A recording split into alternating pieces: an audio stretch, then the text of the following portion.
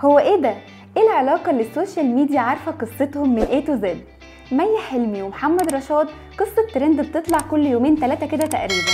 من أول يوم دخلوا حياة بعض وإحنا عايشين معاهم العياط والشحتفة يا بنت طب بس بس بس. يا بنت باخدك يا لوز بداية من يوم الفرح اللي اتقلب فجأة بقت عروسة لابسة فستان الفرح في المستشفى.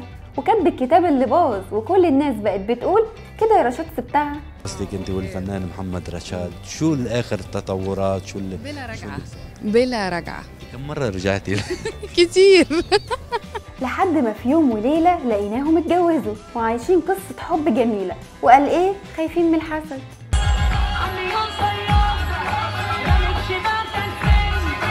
وتمر الأيام وتلاقي خناقة كبيرة ومي واقفة بتدافع عن رشاد. وما تنسوش العياط والشحتفة ما ينفعش يعدي ترند من غيرهم. واحد لسه بيبتدي حياته. 30 سنة. 30 سنة. فجأة مي حلمي حامل. باركولها يا جماعة. بس طبعا الحلو ما يكملش. وأعلنوا إن الحمل ما كملش. والعياط والشحتفة من تاني. يعدي شهر اتنين تلاتة. سابني غصب عني خبة فجأة لقيناهم اتطلقوا. هما آه انفصلوا بس لسه برضه ترند وده لما مي قالت أنا معرفش إني اتطلقت غير من على ال social media آه والله زي ما بقولك كده. لا شيء. وفجأة تقرر مي حلمي تعتزل. أنا في الحقيقة ما فهمتش هتعتزل عن إيه تحديدا بس ما شاء الله طلعت وقالت حتى يا ربي لما قررت أعتزل بقيت ترند ليه؟ ليه يا كابتن؟ هو قالها كمان طلعت مي حلمي بعدها في interview اتسألت سؤال عميق جدا. هل مي حلمي تعيش قصة حب؟ ترد تقول إيه؟